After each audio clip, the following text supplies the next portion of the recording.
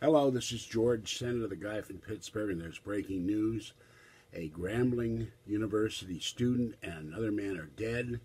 Police are seeking the shooter.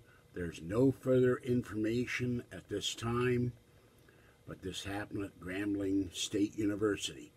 All right, this is George Senda, the guy from Pittsburgh. I'll post the link and give you more details as they're available.